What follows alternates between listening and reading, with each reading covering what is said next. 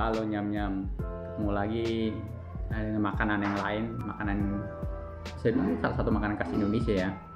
Ini nama makanannya tuh hmm, Semur jengkol Atau rendang jengkol. Jengkol itu uh, termasuk makanan Asia Tenggara sih bisa dibilang itu ya. Ada juga tuh di Malaysia Di Myanmar, di Thailand Selain di Indonesia. Nama latinnya tuh Acidendron Plauciforum panjang juga ya. Dia termasuk si uh, polong-polongan ya maksudnya biji-bijian tuh atau jenisnya. Tadi gue bilang kalau di Malaysia namanya tuh jering. Di Myanmar namanya danyin te terus di Thailand namanya luknyen ya termasuk makanannya itu agak keras sih sebelum dimasak ya tapi kalau dimasak tuh agak lembek. Baunya tuh lebih mirip. Nggak mirip sih sebenarnya sih bisa dibilang kayak petai bau ya buat orang yang nggak biasa gitu. Ada orang berasa waduh nih kayak makan obat apa kan dicampur oli kali ya. Itu selera orang lain-lain seperti makan durian gitu tau gak juga tuh biasa habis makan jengkol mungkin keringetnya kencingnya terus pas lagi ee nya tuh baunya juga mungkin keluar kali ya. Seperti yang tadi aku bilang pete mirip-mirip. Gue udah lama gak makan jengkol sih. Pete lagi tuh gue udah makan mungkin berapa ya? Dua bulan tiga bulan yang lalu ada kali jengkol tuh kayak gini. Itu tuh dia bulat-bulat gitu tunggu ya. Dibuat gini yang udah dimasak.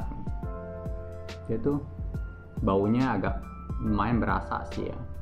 Nah, sekarang tuh gue bikin ini tuh jengkolnya itu campur daging sapi. Bisa dibilang sih rendang. Sapi jengkol kali ya. Nggak lebih nggak mirip. Semur. Kalau semur kan biasa ada serai terus ada apa sih? Kunyit ya kalau yang ini sih gue belum makan ya. Gak kelihatan kayaknya lebih kerendang kali ya. Rencananya sih mau bikin semur jengkol tapi ya ini kayaknya sih kerendang jengkol. Gue juga penasaran udah lama. Nggak tahu nyobain rasa jengkol tuh kayak gimana tuh gue makan dulu ya gue makan jengkolnya dulu dah.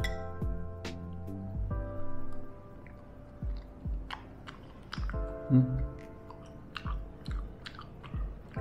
nggak terlalu keras baunya dibanding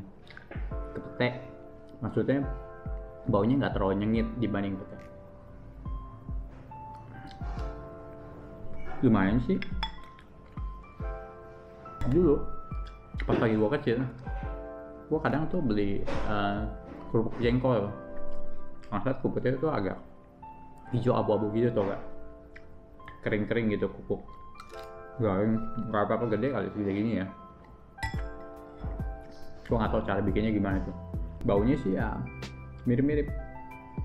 Coba pakai nasi nih. Dari rendang daging sapi ini sih ya biasa seperti pakai apa sih lengkuas kunyit daun salam terus sama daun jeruk ya. Terus juga pakai santan juga. Um, terus ya cabai bawang merah bawang putih. Ada kemiri lah juga ya bumbu-bumbunya. Jadi itu agak lebih banyakan sih dibandingin kalau semur ya kalau menurut gua ini juga tuh ada daging sapinya juga dimasak. Enak sih rasanya. Cuma kalau menurut gua kalau daging sapinya dimasak aja sampai agak kelamaan. Lebih enak mungkin lebih enak kali ya. Kali ini mungkin nggak terlalu pedesan kali. Apa mungkin? Karena gue udah sering kebanyakan makan cabai juga makan cabai setan itu makanya level gue naik makan cabenya gitu. Jadi ini agak kurang pedesan kak. Jengkol kalau menurut gue sekarang hmm, baunya mungkin nggak sekuat pete ya. Pete lebih berasa.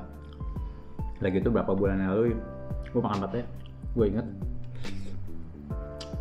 kencingnya juga bau pete. Baunya berasa banget tuh tapi ya sebenarnya sih gue doyan juga sih makan pete sih. Maksudnya oke okay, gitu ya. Kalau orang yang nggak biasa ya mungkin takut juga wah kencingnya sampai bau gini. Bisa kenapa kali? Mungkin ya kalau bagian orang luar negeri seperti contohnya makan durian kan makanan. Itu bisa dibilang king of the fruit rajanya buah. Nggak semua orang suka gitu loh. Ada yang bilang lagi tuh bau apa sih? Ya oli kalau nggak salah ya. Ada bau rem rem angus macam-macam lah. Masakannya enak nih menurut gue sih lebih rendang sapi jengkol kali ya. Bukan sebut jengkol. Dimasak tuh udah agak lembek kan lihatnya warnanya juga masih agak hijau-hijau kopi yang tadi kopi yang tuh jengkol makanan khas Asia Tenggara. Berarti itu makanan tanah tumbuhannya tuh buahnya bisa tumbuh di negara tropis aja gitu yang panasnya enak. Rasanya dagingnya kalau menurut gua nah agak kelamaan dikit ya. Kan daging sapi tuh kalau dibandingin daging ayam daging kambing daging babi ikan dia masih agak kerasan gitu tuh. Jadi kalau masaknya agak lama lebih empukan ngunyahnya lebih enak. Karena agak keras-keras sedikit karena seratnya banyak ya. Oke terima kasih sudah nonton juga. Ya sampai ketemu lagi di video berikutnya makanan Indonesia. Dadah